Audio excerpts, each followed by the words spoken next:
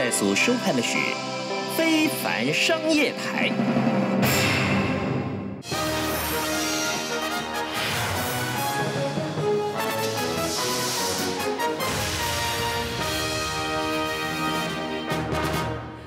大家好，欢迎收看《国海扬帆》，我是王梦萍。首先呢，欢迎大家扫描我们的 Q R code，订阅非凡商业台 YouTube 频道。我们所有内容都会在第一时间来为大家做更新哦。那美国 FED 现在如预期的宣布降息一码，而苹果在上一季的财报公布出来也优于预期，这两大重要事件的结果揭晓，台股本周看来还是维持金金涨。那么很多股票都大涨一大段了，二十九年新高的台股有哪一些股票根本它没涨到？会不会涨？会涨？什么都在今天的节目当中跟您一起来做掌握。首先为您邀请的是黄汉成分析师，汉成好，孟平好，观众朋友大家好。好，另外是谢明哲分析师，明哲好，孟平好，各位观众朋友大家好。好，这个礼拜看到新台币再度升破新高，而反映的是联准会今年的第三度降息，那么资金持续往亚洲进行移动。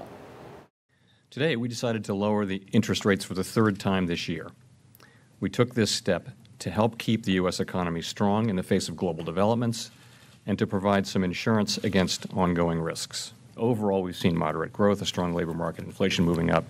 to um, trade developments. We have um, that uh, uh, phase one uh, potential agreement with China, which, um, uh, if signed and put into effect, could have the effect of reducing trade tensions and uh, reducing uncertainty. We just touched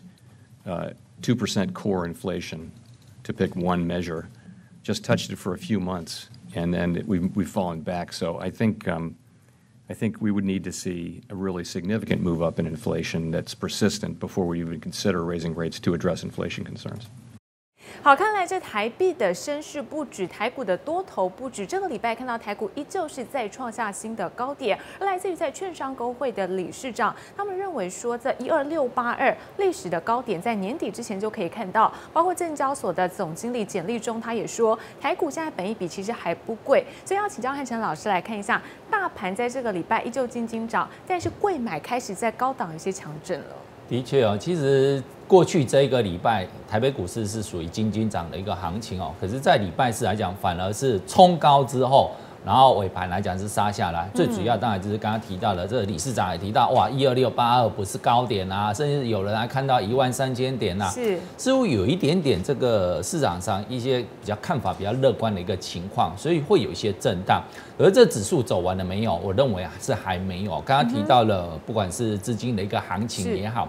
台币持续的升值，外资是持续涌进到新兴市场这一块，所以台北股市来讲，我认为接下来。就到选举前，应该都还有行情。可是选举之前来讲的话，我认为超半个月、一个月，可能你就要做减码的一个动作。最主要当然是在于说，整个这一波的资金行情拉升上来之后，搭配的是选举的一个行情。那总统大选来讲的话，其实政府做多，可是到大选之前差半个月来讲的话，就会有一些所谓市场上绕跑的一个资金哦。虽然这几天来讲的话，看到贵买市场是比较弱势一点哦，可是是毕竟来讲是只是内资的一个调节，那不代表全部的一个调节。这边要看的可能还是要看外资，所以你可以看得到说外资这一波从八月底以来，嗯，买超上市的股票。就差不多两千两百亿左右。是。那刚刚提到李市长也提到，本一比现在台湾本一比是十五倍，不过我们估出来差不多应该在十七倍，所以就差十五到十七倍左右而已，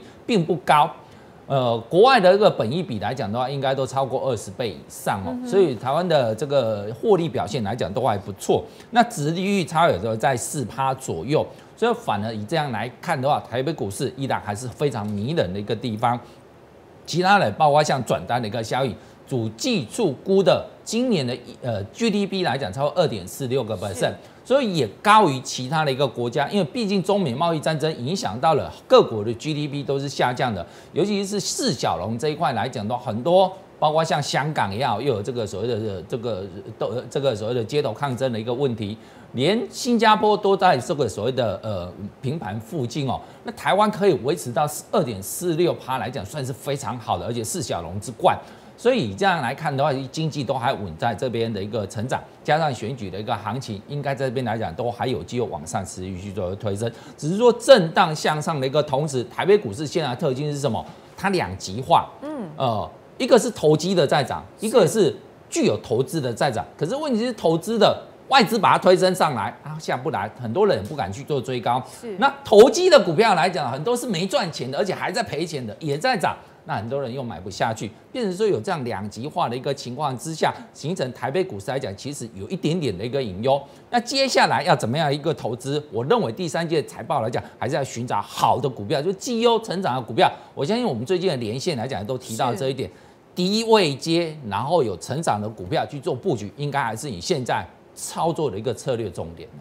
好，所以其实真的难下手，这涨的股票非常两极化，不知道该从何来做起。所以刚刚讲到说，这大盘的部分，万点这一波看起来很强，但是有一点点寂寞，并不是说像过去一样，呃，有一种百花齐放的感觉。所以明哲的部分，我们来看一下，有人去算说，现在如果台股的指数扣掉台积电贡献的影响，其实只有八千五百多点。呃，没有错。实际上，如果说我们以最近这几年当中的一个万点行情来看的话，大家其实可以看得出来，那个指数能够维持在万点之上，其实跟台积电有非常高的相关性。我们以这几年可以看到，哦、上一次应该说这个这几年当中，第一次看到万点应该是二零一五年的四月，对。那时候的高点是一零零一次，但是我记得应该只有一天的时间之后它就掉下来，哦。所以当时的一个台积电股价是一百四十七块。好，所以你就知道说，哎，在过去这一段时间当中，当时的指数回档，呃，事实上台积电它其实并没有有那么大的一个贡献，这礼拜到但是三百块，对，但这个礼拜其实已经飙到三百块钱的时候，你就会知道说，其实过去这一波行情的确从一万点到一万一千点这样子的一个区间当中，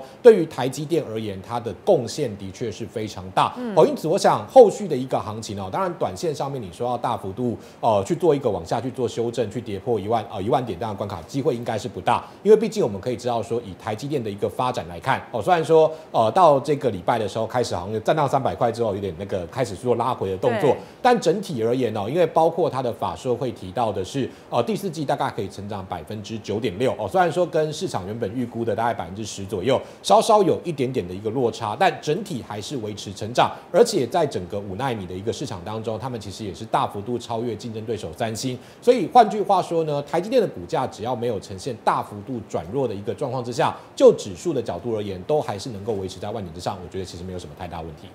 好，所以看到这在指数的部分跟台积电密切的正相关哦。那休息一下，稍后回来我们就要来看喽。大盘在这一次登峰造极，但是有什么股票大拖对它根本没有涨到？那重点是年底之前谁会涨呢？